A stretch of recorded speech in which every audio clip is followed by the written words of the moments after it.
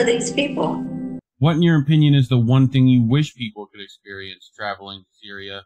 What have you learned or experienced since being on the ground and speaking with people in the region that miss watching from afar? I'm sure a whole um, list of um, things. yeah, again, that's that's a very detailed um, question and answer.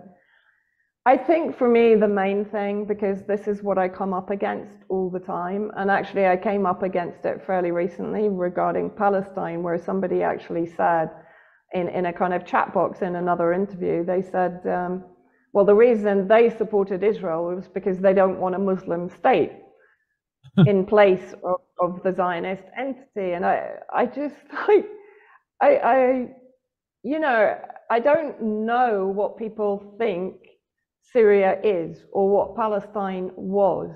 I mean, Palestine was one, it was part of Syria, actually, originally, of course, as was uh, Lebanon. But it, it, Palestine was secular. It wasn't a Muslim state.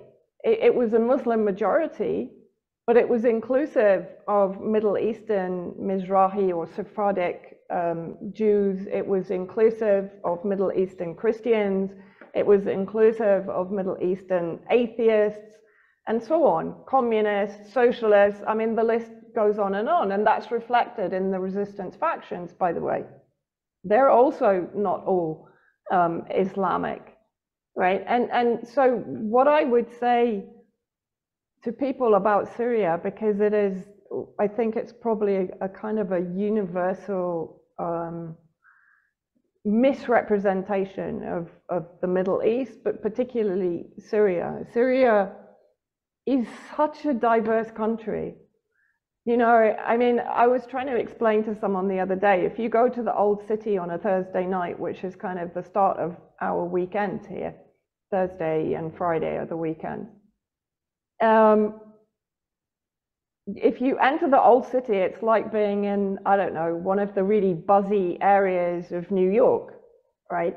You've got nightclubs and music and street life and, and people, women wearing hijabs with friends that are wearing miniskirts and low cut blouses, um, and, and Christians and, and Muslims you know, out celebrating together. And I mean, it's crazy. It goes on until 6 a.m. I mean, if you go out on a Thursday night, don't expect to get any sleep.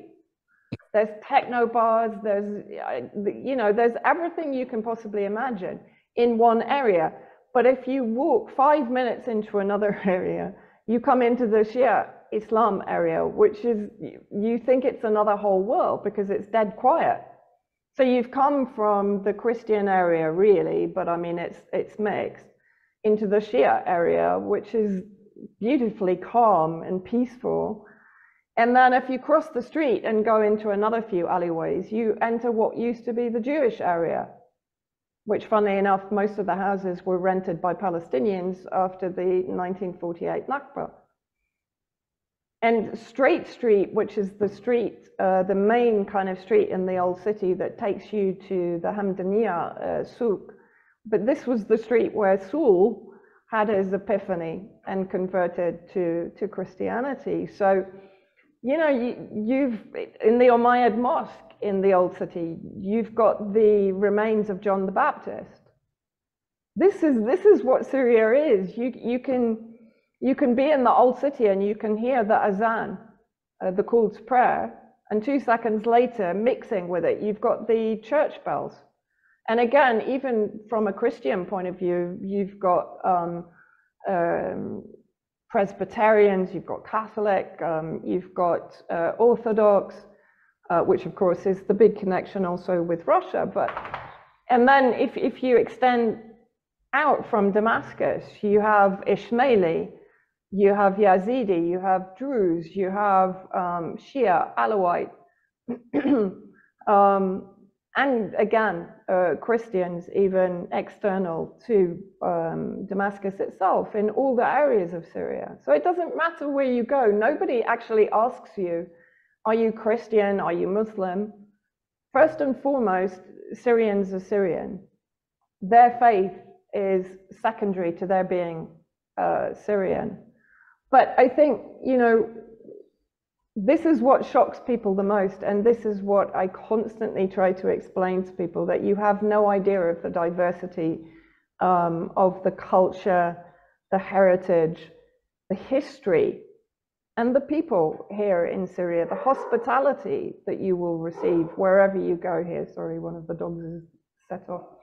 Um, and, and from that perspective, it's it's one of the safest places I've ever been in also. Right. Like, I can go out of my house at 1 a.m., 2 a.m. and just walk the streets. No one will bother me. Absolutely Well- no one. And that applies to pretty much anywhere.